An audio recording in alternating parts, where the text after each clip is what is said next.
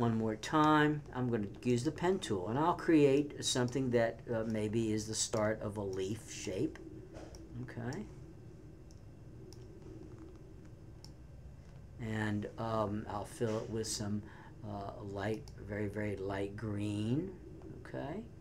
And then once again, I'll uh, go over and I'll get the mesh tool and you can see what I talked about before. It starts to, it tries to take on what it thinks is the, the, the dimensional shape of the image in whatever way that is. And um, I can come in here and uh, I can, uh, me, uh, again, I'll add a, a, vein down the middle of this um, leaf. Okay. So let's say there, and of course I'm not getting real sophisticated. I'll activate these anchor points. And then you can see I add a very light little shade right down the middle there. And again I can come in I can add some more mesh maybe to add some uh, darker shading in this area.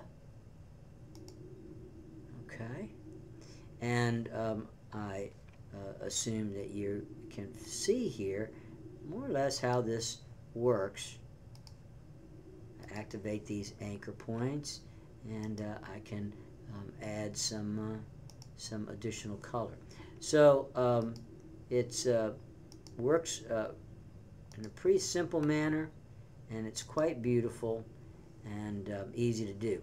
One other point that I want to make is that you cannot add a stroke or a border onto a shape that has the gradient mesh because it's no longer one solid shape. It's now all of these separate little sections.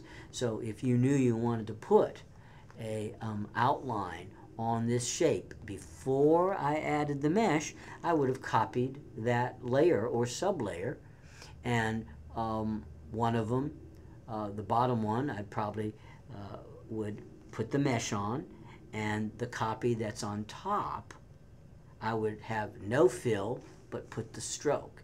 And to the mind's eye, it would look like it's one shape, when in fact it's a duplicate of the shape. One has the stroke and the other has the mesh filling.